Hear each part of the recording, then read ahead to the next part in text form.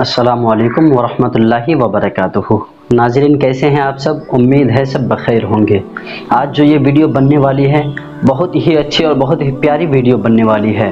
Thumbnail तो आपने देख ही लिया है। थंबनेल क्या है? थंबनेल देख कर के आपने वीडियो पर एंट्री किया है, वीडियो पर विज़िट किया है। तो आपसे गुजारिश करता हूँ, पूरी वीडियो को ज़रूर देखें। पूरी वीडियो देखने के बाद उम्मीद करता हूँ कि आपकी ज़िंदगी में कुछ बदलाव ज़रूर आएगा। इससे पहले अगर आप हमारे YouTube चैनल जलवा नूरी पर पहली मरतबा विज़िट कर रहे हैं तो चैनल को सब्सक्राइब कर ले, साथ ही बेल आइकन को प्रेस कर दे, ताकि हमारी हर वीडियो की नोटिफिकेशन सबसे पहले आपको मिल सके। हाजिर तो चलिए वीडियो को स्टार्ट करते हैं। एक नौजवान था, जो दफ्तर में काम करता था, नमाजी मुतकी था, परहेजगार था, कुरान के तिलावत का शौक़, दिल में गामजन था। वह जवान कुछ दिनों के बाद जब शादी करता है तो उसकी बीवी भी नमाज़ पढ़ने लगती है। दोनों की ज़िंदगी बहुत अच्छी तरीके से गुजर रही थी। कुछ दिनों के बाद, एक दिन मर्द ने अपनी बीवी से कहा, आज तुमने नमाज़ अदा नहीं किया? बीवी कहने लगी, मेरे सरताज, आज मैं थक गई हूँ, सुबह पढ़ लूँगी। शोहर को बहुत बुरा लगा, मगर शोहर ने अपनी बीवी को कुछ न कहा।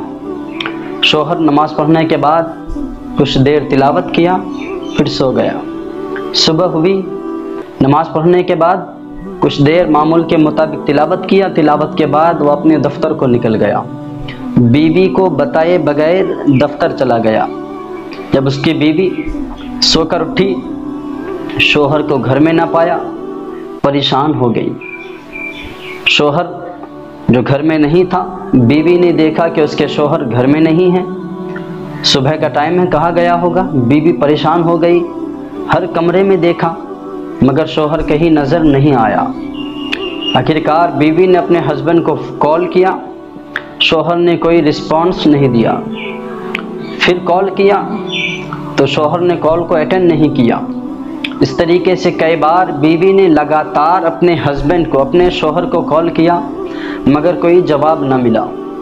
कुछ देर बाद फिर बीवी ने जब कॉल किया तो उसके शोहर ने कॉल को रिसीव किया।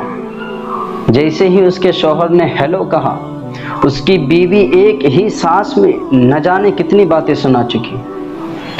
सारी बातें सुनने के बाद शोहर ने कहा, मैं थक गया था। आँख लग गई थी, इसीलिए कॉल रिसीव नहीं कर पाया।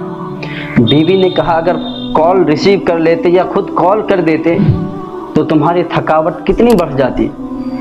इतना कहना था कि शोहर ने बड़े अछूते अंदाज में मोहब्बत भरे लहजे से अपनी बीवी से कहा, कल तुमने भी तो यही किया था। अगर नमाज़ पढ़ लेते तो तुम्हारी थकावट कितनी बढ़ जाती। वो अल्लाह जिसने हमें पैदा किया है, दुनिया में हमें सारी खुशियाँ अता किया है। फिर वो अल्लाह जब अपने बंदे को बुलाता है, फिर हम बंदा होकर के उसकी पुकार को, उसके अजान को इग्नोर करते हैं, नज़रअंदाज करते हैं, क्या तुम मुझे बताओ ये ठीक था? वो अल्लाह जिसने हमें पैदा किया, दुनिया की सारी नेमतें अता किया, फिर वो अल्लाह जो खुद कहता है कि हमने इंसान और जिन्नात को सिर्फ़ अपनी इबादत के लिए पैदा किया है। फिर अल्लाह ने हमें पैदा किया और उसके बुलाने पर हम उसकी बारगाह में नहीं गए तो क्या अल्लाह ताला हमसे नाराज़ नहीं होगा? अल्लाह अल्लाह इतना सुनना था। बीवी नदामत के आँसू बहाने लगी, अपने शोहर से माफ़ी मांगने लगी, रब की बारगाह में तोबा इस्तगफार की कि मुझसे गलती हुई है, आज के बाद ऐसा नहीं करूँगी।